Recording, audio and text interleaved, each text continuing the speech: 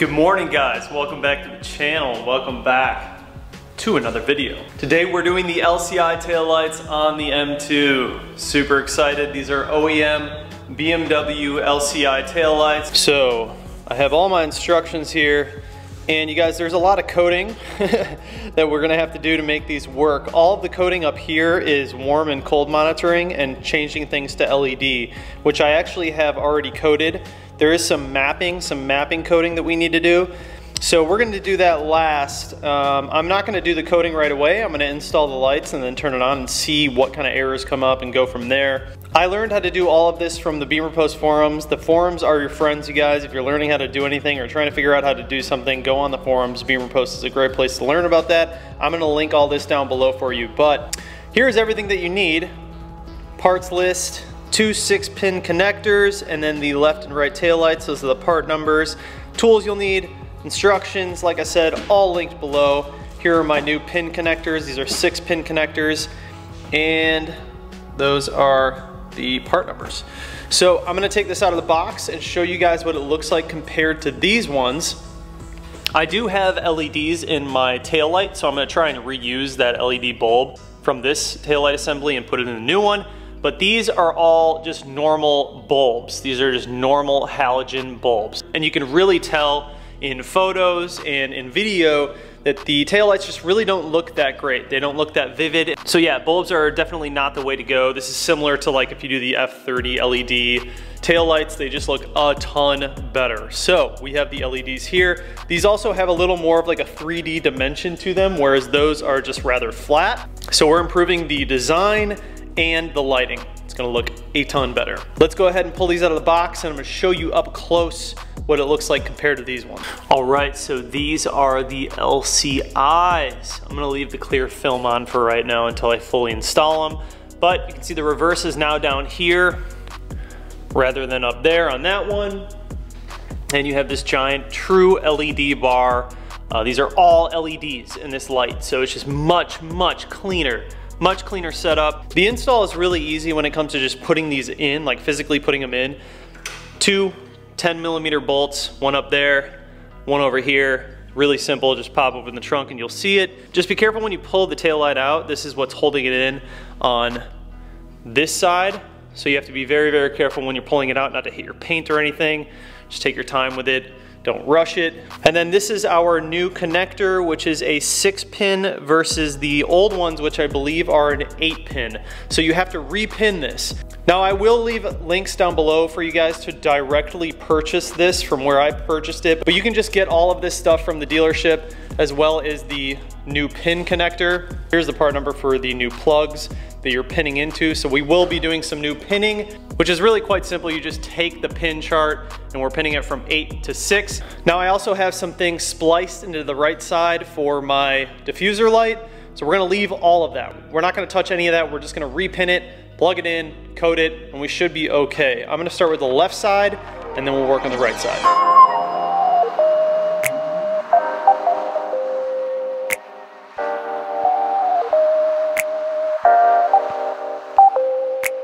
And then to access the LED reverse bulb, you actually have to take off this plastic piece right here.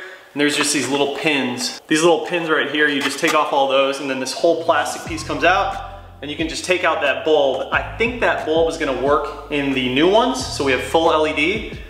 So, that's what I'm talking about. You can see these are all halogen bulbs in here, in the guts, and this is the LED that we're gonna be taking out. However, looking at it, so this is the only halogen bulb that's in the new LCI taillights. I'm gonna have to order one of these in LED. This will be the only halogen bulb for right now because the one, the LED that's in the reverse bulb for the pre-LCIs is a different bulb. You can see right here. So obviously this one won't work in here. You gotta order one like that. So that's what I'm gonna do. For right now, the reverse lights will be halogen. I'll just pop them back out later and replace this with an LED. All right, so I'm going over everything right now, and you can see my connector, their connector, and that's how you're setting it up. So these two wires that remain in the original plug, you don't use those. You actually just tape this off or just let it hang uh, out of the way. And then there's also this guy with these two brown ones. When you go to LCI, you don't use this one at all either. So we'll have two extra plugs just hanging there. You can take the wires out and just wrap them up with electrical tape, but we're just gonna leave it in just in case we ever go back to the pre-LCI. So I'm gonna start removing these wires, and in order to do that, it's actually pretty simple. You just use the pin tool, the pry tool to pick these out, and I'll show you guys how I do it. But you pull those out and then you repin it into the new one with the orientation that they have on here. And if you don't wanna use that, you can actually use the chart if you wanna use that. I'm gonna start pulling that apart and repinning the new one and then I'll show you my progress. All right, so to expose the pins, there's these two little plastic things. They're folded down like that. You just peel them up like this. And then you'll see on top here, there's these two yellow and black wires right on each side of that brown cable. Those are the two that you're gonna leave in here because we're not gonna use those. We're gonna end up pulling out the brown one, that gray one right there, and then all the ones down here. And in order to pop these out, you're just gonna push in with a little pin tool. You're just gonna push in from the top and then push it out from that side and the pin should just come out. And then you can go ahead and throw those pins into the new connector, obviously with the orientation that was showed in the chart. All right, super easy to pop those out. As you can see, I still have the two yellow and black ones plugged in. Like I said, we're just gonna wrap this one off and let it hang. So these six pins right here are the ones that we're gonna be using in the new plug and I'll go ahead and throw them in in the proper orientation and then show you guys what that looks like. All right, new wires are in the plug and you literally just put those in all the way, make sure that you can see the actual silver through there. And then there's just this little locking piece that you just slide over that locks everything into place. And then you're good. This is it for this side. So we just go ahead and plug this into the light. I'm gonna go ahead and tape some of this stuff up so it's a little bit cleaner plug this guy into our new LCI taillight. Then we'll just go ahead and install the taillight just like we pulled it out. And then we will work on the other side and then we'll do the coding. Bam, got it in. Also the reverse lens is like a lot darker. It just has a much cooler look to it overall. But yeah, it looks dope, looks dope. So that's LCI, pre-LCI, LCI. So we still have coding to do before we like turn on the car or anything. I'm gonna go ahead and work on the other side, same process, and then we'll get into the coding. All right, so I'm gonna show you guys the right side because on the website, they didn't really show the right side pin connector, they only showed the left one. So I kind of figured it out. The pins, the way this orientation works is when the lock is facing that way, this little purple lock is facing that way and it's upside down like this, the plug, your orientation is six over here to one over here. So Six, you have yellow and gray. Five, you have blue and gray. And then four, you have gray and black. Three, you have brown. Two, you have black gray. And then one, you have gray pink. So that's the correct orientation. I obviously have a few more wires because I am running my third brake light diffuser. And so the way that I have that set up, all of these splices stay the same because they do the same functions, but I do, however, have my red, which is the power, going into the brake light from before. So I'm gonna try it like this for right now and see if it works with the brake light, because I wanna make sure that my diffuser light still works. And then if it works, we're all good. We can just put it back together and go into coding. All right, so I tested it out with the brake light diffuser. The wiring that I currently have works, so we're good. We're gonna go ahead and put in the new LCI tail light on the right side, and then we're done. We're done with most of the install, then we just need to hop into the coding. All of the stuff up here, this is warm and cold monitoring and changing the parameters to LED. So I will hop into BimmerCode and show you guys what you need to do, but I actually already coded all of this. I have all of my warm and cold monitoring off, and then I have all my bulbs switched to LEDs, which you'll need to do if you're gonna run this tail light, and then this is mapping, so this is different voltage. We are gonna go ahead and code that in just to be safe as well. But let's go ahead and throw in the LCI tail, and then we'll hop into coding. All right, man, the freshies are in. Freshies. Best feeling ever. uh, these look way better. Oh, I'm stoked on these. All right, so now we're gonna hop into the coding portion of these. God, dude, these look way better. Way better than the other ones. I think I'm also gonna do a very, very light tint on these, just so they're a little bit darker. And what that I'll do is just accentuate all of the LEDs and kind of hide all of the darker stuff. But let's see when we unlock it, see what happens. Bam, dude. So this camera's funny, it looks orange. Not, it's not orange, it's super red. Cameras always have a weird way of displaying LEDs. Those the lights, man. That looks so good. All right, so we're gonna hop in the car and handle all the coding stuff. I'm gonna show you how to do it, and then I'll show you all of the functions, show you that it's working. Also, you guys, you'll see that your new six pin plugs come with these extra little rubber pieces that go around the wires when you're connecting them. And then also you get new pins. You don't need to use all that. I just reused the old stuff and plugged it back in and it was simple. Um, so if you wanna use these, go for it, but you don't have to. All right, you guys, back in the whip. We're gonna use the Veepeak OBD2 adapter. This connects our car to our phone. If you guys want this, there's a discount code in the description as well as a link directly to this adapter that we can use with BimmerCodes. We're gonna go ahead and plug this into our OBD2 port. If you guys are unfamiliar with BimmerCode at all, I'm gonna link the video right here. Watch that, that'll tell you all about BimmerCode. You can code all these cool things in your car. So let's go ahead and plug this in and then fire up BimmerCode. We're gonna put the car in accessory mode. So the first thing we wanna do is go ahead and open up BimmerCode, hit connect. There's our Veepeak OBD check BLE, that is us, connect. And then you're gonna go ahead and select your car, obviously in an M2, so that's what we're gonna select. Bam, right there, connect. So like I said before, all of this stuff in the beginning is in your rear electronic module and it has to do with warm and cold monitoring. So I already have all of that coded off. I don't need to mess with any of that, but I will show you where that is in BimmerCode. Some of this other stuff we're gonna have to hop into uh, expert mode for the mapping. The voltage changes that we have here, we're gonna have to hop into expert mode. But that should be relatively simple too. It looks like there's one, two, three, four, five, six, six, seven, eight things that we need to code in expert mode. If I wasn't doing the actual filming, I could probably get this whole thing done in like 15, 20 minutes. It's super, super simple. So the pinning is obviously the most difficult part, but you guys should be able to figure it out.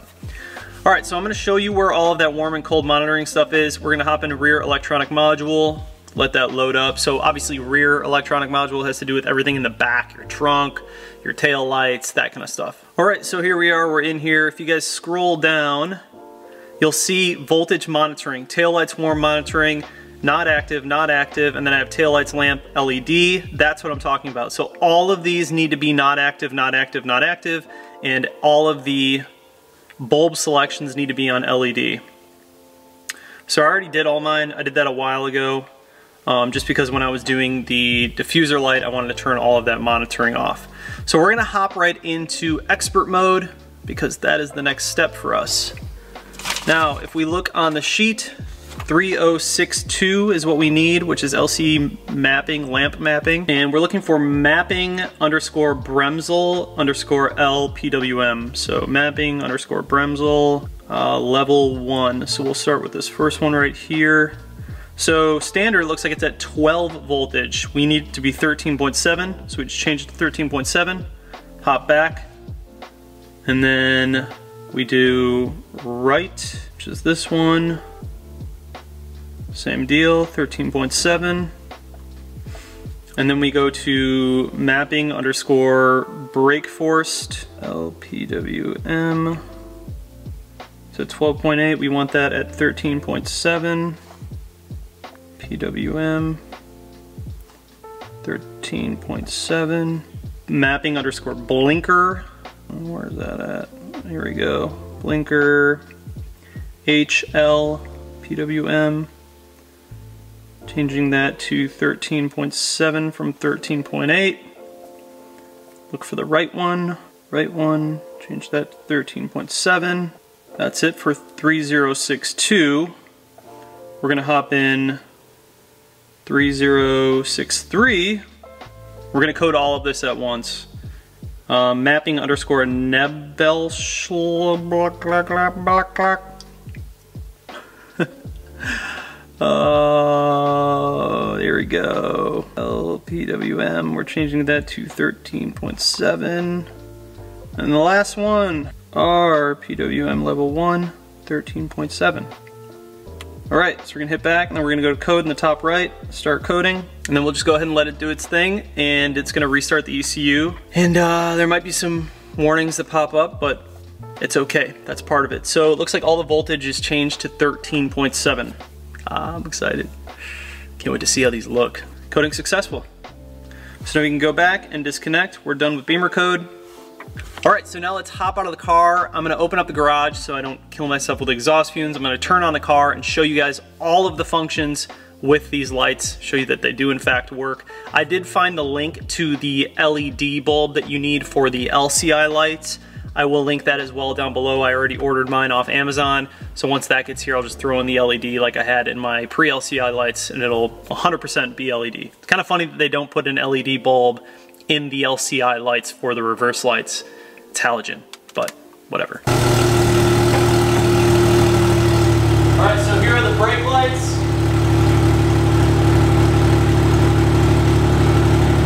Turn signal left. Turn signal right.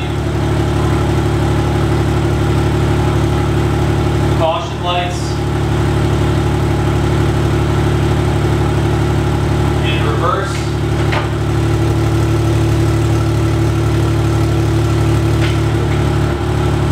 So that was everything. They work. No codes on the dash. Looks super clean, dude. It's so weird looking at through the lens because like on the camera, they look like orangish yellow right here. They're not. In person, it's just red. So weird. But yeah, these look way cleaner, way cleaner. I'll show you guys on the dash. No lights. That's just because my door is open. But obviously, no codes being thrown, everything is good. And yeah, that's it, man.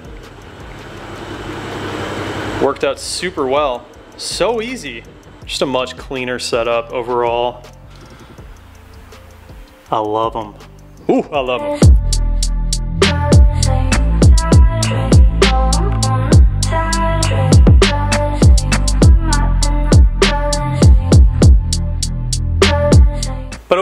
I said, you guys, it was a really, really easy install. If I wasn't filming and everything, it probably took like 20 minutes to do everything, including the coding. It's very, very simple. I'm gonna go ahead and link everything that I bought, everything that I used, all of the stuff down below.